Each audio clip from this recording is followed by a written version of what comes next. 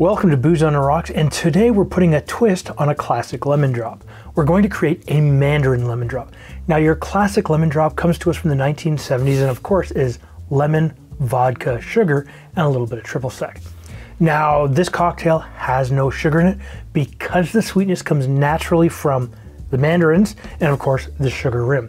Now, it's a simple, easy shake in the glass cocktail, so you're going to need your shaker. And of course, we're going to start this with some mandarins. Now, um, you need about one ounce or 30 milliliters.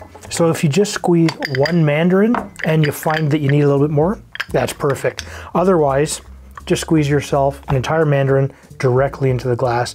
And I think I just repeated myself, but it doesn't matter. After you've done this, what we need is a little bit of lemon juice because what's a lemon drop variation without a little bit of lemon juice? So grab your knife and what we'll do is just cut the end off to make it easier to squeeze. Cut this in half. Now we don't need a lot of this, but we do need is three quarters of an ounce or 22 and a half mils. So just basically squeeze it measure it and pour it into the glass. Our third ingredient for this is an orange liqueur. And in this case, I'm using a little bit of Grand Marnier. Now this is a cognac based orange liqueur. However, you can use a triple sec or a Cointreau if you'd like it to be a little bit sweeter. But you don't need a lot. This is just sort of to bump those flavors. We're going to use half an ounce or 15 mils.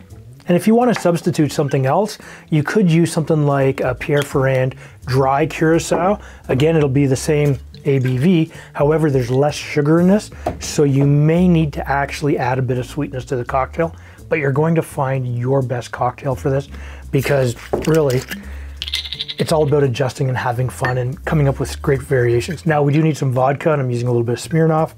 We'll use an ounce and a half or 45 mils. Your next step in the process, of course, is to shake this with some ice.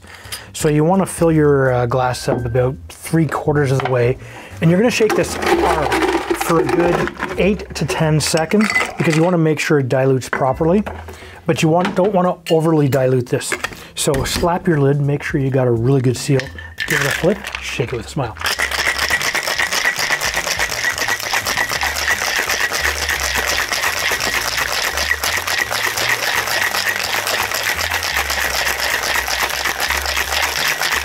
All right, once you've done that and you've gotten some good condensation on the outside of the uh, can here, you're gonna pop this off with the strength of a thousand bottles of orange liqueur and of course some mandarins on the side and grab your favorite glass of choice. Now in this case we're going to use a martini glass, but we have to prep the glass.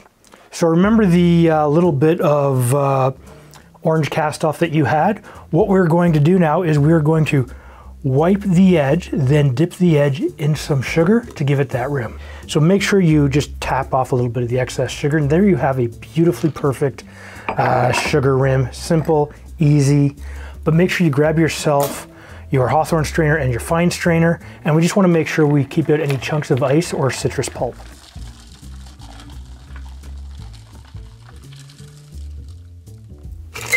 Oh yeah, look at the color of this. Now we are going to garnish this with a small slice of mandarin just to give us a nice bright orange. And in case we want a little bit more orange, we're good to go. So immediately I get a little bit of that orange. Hmm. Really good. You've got the lemon, you've got the mandarin, although you could add a little bit more of the mandarin orange juice to this but you don't need to add any sugar. It's absolutely gorgeous. If you like lemon drop cocktails, take a look after the recipe card right over here.